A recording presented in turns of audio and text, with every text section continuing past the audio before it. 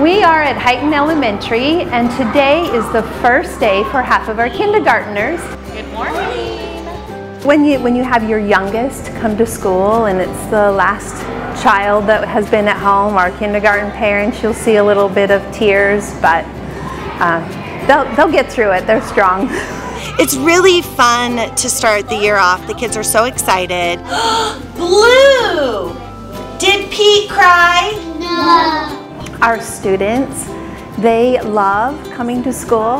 They love their teachers. It's really exciting to kind of get back to our normal kindergarten routine this year. Yes! With everything that's happened the past couple years, it's fun to get back to kindergarten being kindergarten. We have been looking forward to having a year like this for a long time. And then when you hear the whistle blow again, then you will walk. It's really nice to start the year with half the class so that we can give every student the attention they need to um, to be successful at the beginning of the year. Good job. Some kids come in excited, some kids come in nervous about leaving their parents for the first time, but usually by the end of the day, everyone is super excited to come back the next day.